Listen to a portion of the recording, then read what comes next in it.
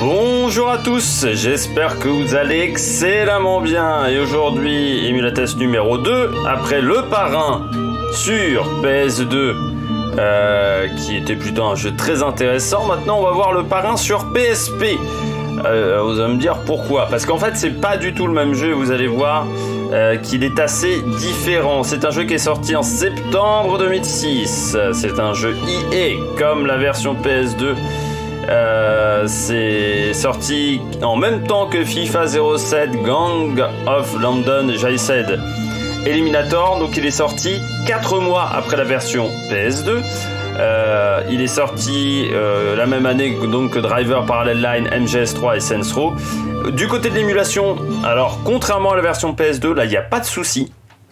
La fluidité est là tout le temps, il n'y a pas de souci également de stabilité, il n'y a pas de, de textures qui apparaissent au dernier moment, donc ça c'est vraiment excellent de ce côté-là. Il est totalement faisable les claviers également parce que sur la PSP euh, vous n'aviez qu'un joystick, donc il y a le système de combat par exemple est modifié. Euh, il y a beaucoup de facteurs qui sont modifiés pour que ça soit euh, beaucoup plus facile à réaliser pour une PSP, donc c'est beaucoup plus facile à faire sur un, clavier. Je fais même une grande partie du, du jeu au clavier. Là, j'utilise une manette Xbox euh, pour faire, mais j'ai testé au clavier, ça marche très très bien également avec une configuration de touches, bien entendu qu'il faut un peu travailler, mais avec euh, les touches de déplacement et le pavé numérique que j'utilise euh, comme un système de croix. voilà, j'ai le X sur la touche 2, le carré sur la touche 4. Ça marche très très bien de ce côté-là et pas trop de crampes au niveau des doigts et du poignet. Alors on va parler du jeu, le jeu qui euh, a reçu une note de 11 sur 20 sur jeuxvideo.com et 4 sur 10 sur Gamecult. Et vous allez voir pourquoi, c'est que c'est un jeu qui est totalement différent de la version PS2 et c'est pas vraiment une bonne chose euh, parce que en fait vous êtes sur une version un peu euh, allez low cost de la version PS2 c'est ce qu'on dira. C'est à dire que c'est un jeu qui est totalement différent et beaucoup moins intéressant euh, alors, comme on, va commencer à jouer au jeu, donc vous voyez, il y a un mode scénario et un mode guerre. Euh, en fait, le mode scénario, c'est le mode histoire du mode PS2. Donc qui dure à peu près 7 heures, c'est les mêmes missions, donc c'est la même durée de vie. La seule différence, c'est que les missions où vous avez des voitures, vous n'avez plus de voitures pour une raison extrêmement simple, c'est que toutes les faces en voiture ont été supprimées parce que ce n'est pas un GTA-like, c'est un jeu d'action. Le son un peu fort là, j'ai l'impression. C'est un jeu d'action, euh, en fait, euh, classique à la troisième personne. Euh, un jeu de tir, un jeu d'action, mais ce n'est plus du tout un GTA-like. C'est-à-dire qu'il n'y a pas de déplacement du tout. Et vous avez un mode guerre des familles qui remplace un peu le mode où fallait battre les autres familles, où fallait atteindre les bâtiments importants de l'autre famille, comme on avait vu dans le jeu de la version PS2. Alors c'est un jeu qui essaye de faire un peu comme le jeu Risk, vous voyez euh, C'est un peu comme un jeu de, stratégie, sauf que c'est très très light de ce côté-là.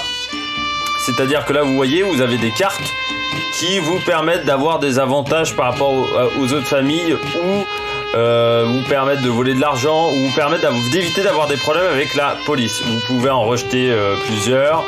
par exemple, je vais rejeter ça, je rejette ça, et voilà, et à chaque tour, vous avez des nouvelles cartes. Euh, plus vous battez de famille, plus vous vous retrouvez avec des grosses cartes. C'est pour ça que très rapidement, le jeu devient facile. Vous allez voir pourquoi. Donc ça, c'est un mode qui, je trouve, est l'un des points forts du jeu, c'est que c'est un petit peu original même si ça reste extrêmement basique dans le jeu, euh, dans un jeu de gestion, un jeu de stratégie.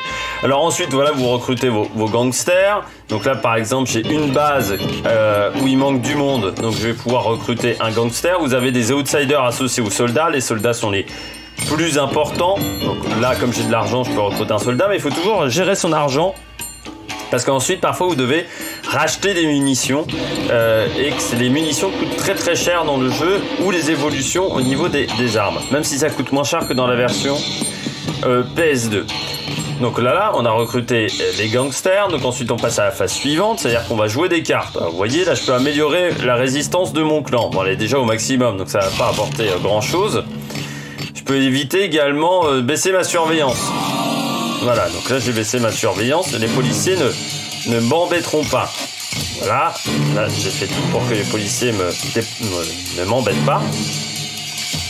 Donc voilà, une fois que j'ai joué les cartes, voilà, les cartes, je passe à la phase suivante. Et là, je vais pouvoir déplacer mes gangsters. C'est-à-dire que je vais pouvoir les envoyer euh, sur des territoires euh, où euh, l'objectif est de choper des territoires à mes adversaires. Là, j'ai plus qu'une famille, mais normalement, vous avez trois autres familles. Hein. Là, il n'y a plus que les Bartini. Et l'objectif, c'est de battre mes adversaires. Donc là, je vais prendre mon capot et je vais l'emmener dans un territoire qui est très faible où il y a des tables de jeu où techniquement je n'aurai pas de vendetta, c'est-à-dire qu'il n'y aura pas de représailles. Donc ça, c'est vraiment quelque chose de très intéressant dans le jeu. Vous voyez, alors graphiquement, euh, parmi les points faibles du jeu, c'est que c'est très très moche. Hein. C'est encore plus moche que la version... Alors je trouve que c'est un peu plus moche que la version euh, euh, PS2, alors que techniquement ça n'aurait pas dû l'être. vu que le jeu est beaucoup plus court, on va dire, il y a beaucoup moins de paramètres à prendre en, compte, vu que ce n'est pas un open world. Ce qui peut paraître ce qu'on peut défendre sur un open world en termes de graphisme qui sont un peu moyens, là on ne peut pas le défendre.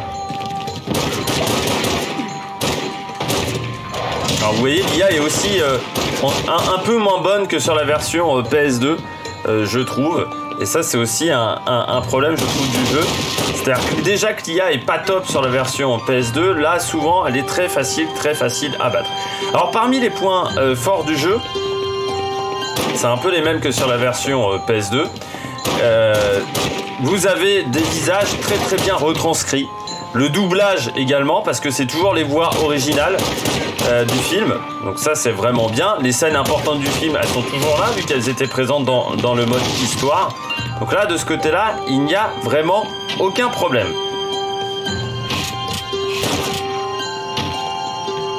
Là, je vais me concentrer une couille. J'ai encore un adversaire, mais ils sont pas 150 ici, hein, j'ai l'impression.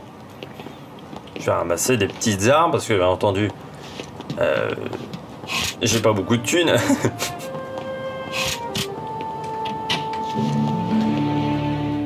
Toujours se méfier dans les bâtiments. Alors, les doublages également sont bons. C'est le seul point positif du jeu. Ce qui est terrible, hein. Vous voyez, dans les bâtiments, c'est toujours aussi euh, difficile de, Là, il comprend pas la visée. Là, il n'arrive pas à viser. Donc, je suis obligé de rentrer un petit peu euh, en, mode euh, gros bourrin. Alors que techniquement, je pourrais me défendre. Mais comme le jeu prend très mal en compte les bâtiments, et eh ben, c'est un peu difficile de faire comme ça. Ah, vous voyez, je rentre tranquillement.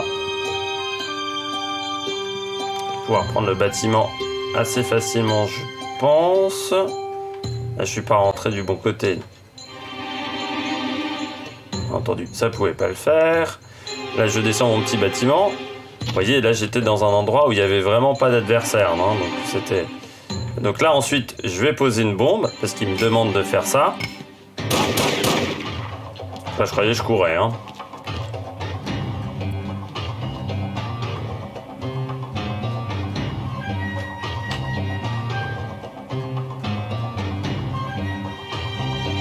Je me suis perdu, hein, donc euh, c'est mort.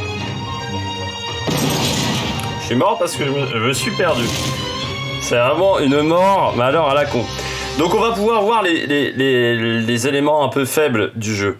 Pour moi, euh, c'est que c'est pas un GTA-like. Et ça, je trouve que c'est très, très... Euh, enfin, c'est un peu dommageable, quoi, que ça soit pas un GTA-like. Qu'ils aient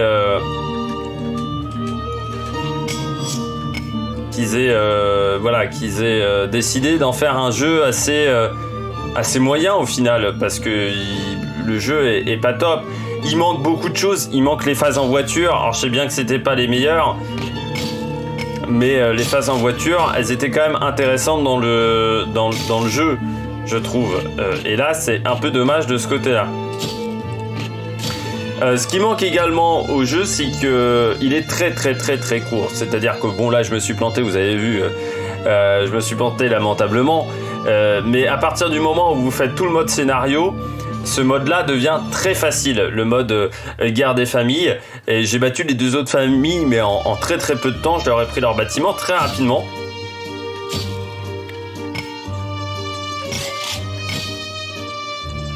Et c'est très facile euh, euh, de, faire euh, ça, quoi. C'est vraiment euh, ultra simple. Et puis, je trouve très très moche. Graphiquement, c'est vrai que c'est vraiment pas ça. Les deux jeux en un, c'est-à-dire que vous faites au départ le mode histoire, le mode scénario, et ensuite quasiment le mode guerre des familles. Il y a très peu de moments où vous êtes obligé de jouer le, mode guerre des familles pour avancer dans le scénario. C'est quasiment l'un après l'autre, et ça je trouve ça un peu dommage. Ils auraient dû faire quelque chose d'un peu plus euh, compatible. Enfin voilà, on a l'impression vraiment de jouer à deux jeux en un. Et ça, c'est, je trouve, un peu euh, euh, dommage de ce côté-là. Donc voilà, après, c'est comme ça. Mais c'est vrai que c'est un peu, un, peu, frustrant, je trouve, d'avoir ce, genre de choses. Donc là, je risque un peu plus de, de, vendetta. Et puis, il est moche. Et puis, toujours les mêmes problèmes que dans le jeu PS2. C'est-à-dire que euh, le jeu prend très mal en compte les bâtiments. Euh...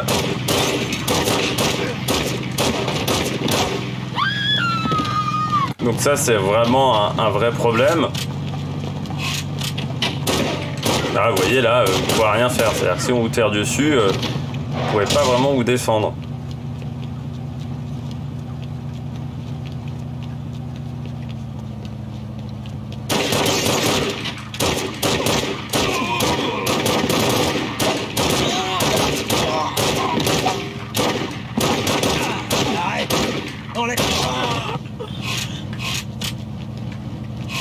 Allez.